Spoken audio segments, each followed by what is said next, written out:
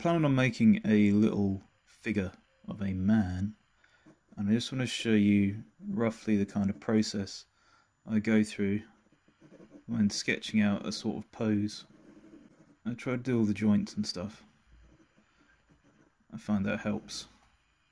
So now I can bulk him out a little bit. And then afterwards I've got a little design which I can then trace onto a piece of wood and cut out on the bandsaw before I start carving it. Then I can get my piece of wood and my trusty carbon paper to put on top.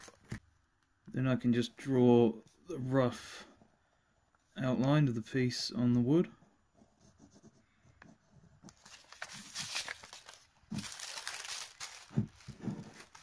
And we're ready to take it to the bandsaw.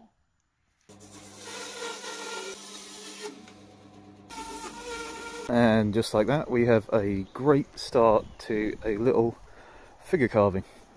I can highlight the other areas that I definitely want to cut off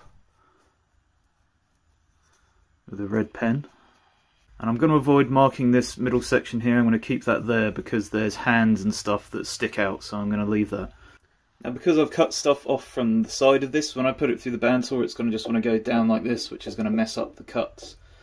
So I'm going to tape a bit of wood to the bottom of it so that it's level when I push it through.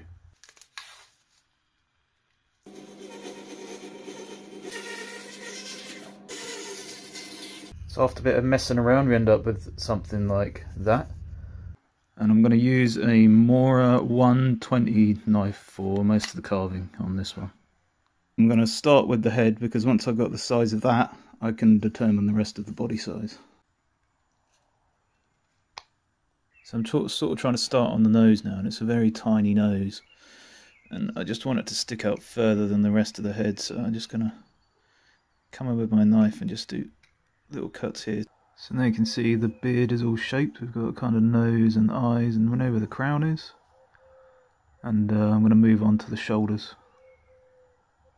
Okay, so now with the head size figured out and the shoulders somewhat figured out as well, I've been able to make out where the arms are going to go and then highlight all the areas I can cut away safely. I'm going to start with some little kind of V cuts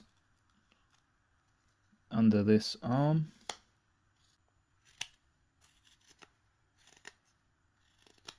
I have this little knife chisel thing that helps me put lines into places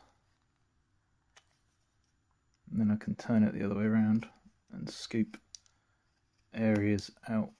The last bit I've got to do for the moment is just to take away this sort of angle here and I'm going to do that by first putting a line on this bit and use the knife to take bits of that away. I'm just going to come in with this little chisel again and keep cutting away bit by bit. But obviously if you're going to do this yourself, be very careful of your hands. So now with that bit cut, after I clean up the hands and make them the right size, I can move on to the lower half. So now I'm going to work my way down to the legs. And I've got them kind of planned out. This leg is the one that supports the weight, which is why it's kind of straight and firm on the ground. This one's kind of more like a posing leg, so it sort of bends forward. So once again, we'll do that with some sort of V cuts.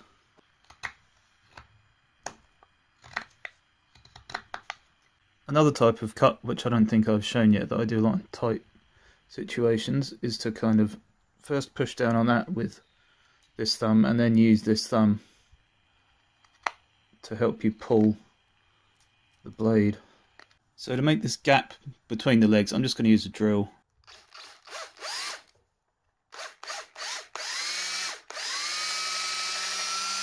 course that hasn't done all the work but it's helped me a lot in finding where the center line is. And so now I can come in with a, a little gouge or or with a knife in here.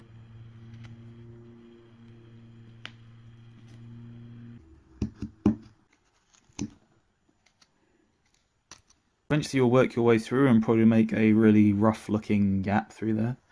And then uh, you can start planning the legs in a bit more detail. So now it's time to start adding some detail and cleaning the whole thing up. I'm going to start with these little straps on the legs.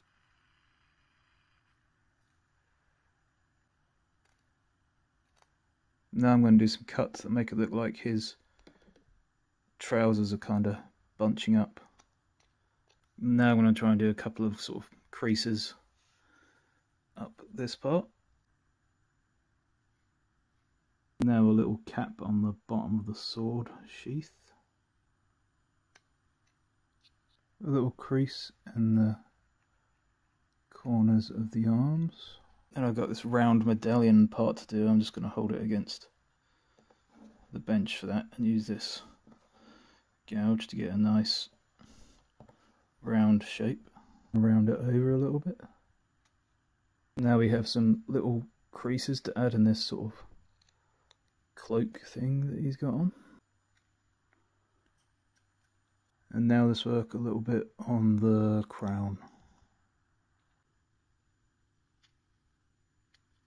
and I already made his little spear off camera. So now I have a lot of cleaning up and stuff to do before I get on to the dyeing stage. So uh, that'll be the next video, the colouring. Now to colour this guy, I'm going to try something new I haven't done before, and that is I'm going to use this stain tester kit from Furniture Clinic. I'm going to start by painting the skin with this white ash colour. I'm going to use antique pine to colour some of the lighter and gold type parts. I'm going to use dark oak for the hair and the beard. I'm going to use teak for his kind of cloak thing.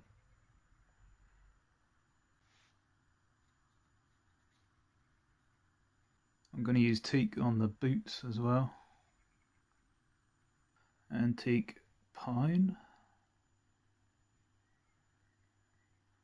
I'm going to use natural oak for his trousers and the same for the spear handle. Rosewood for the sword sheath.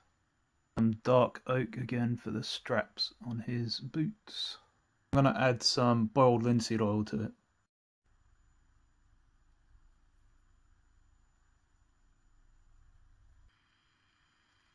And here's how it looks finished with the dye and the oil.